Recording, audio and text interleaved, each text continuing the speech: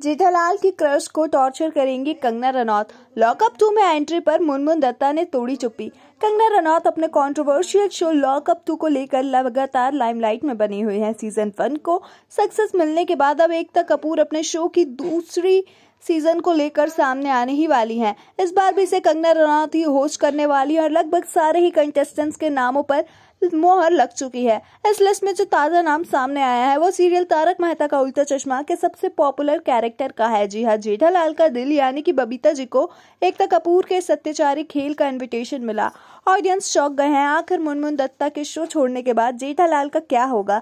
वे किसे देखकर अपने दिन रात गुजारेंगे? क्योंकि उनकी वाइफ दया बहन तो पहले ही शो से काफ़ी सालों से लापता है। रिपोर्ट सामने आई है कि मुनमुन कंगा के खौफनाक गेम में ग्रिल होती दिखाई देने वाली है। पर असित मोदी का खौफ इस कदर एक्ट्रेस के दिलों में छाया हुआ है कि पूछिए ही मत।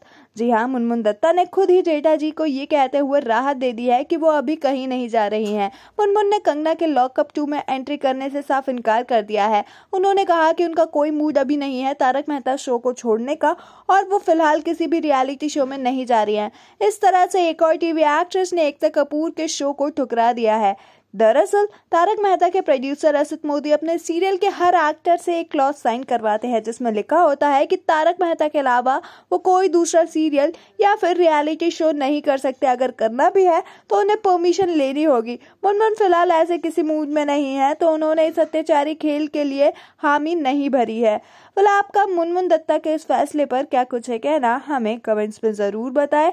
ऐसी ही अपडेट्स के लिए हमारे चैनल को सब्सक्राइब करें।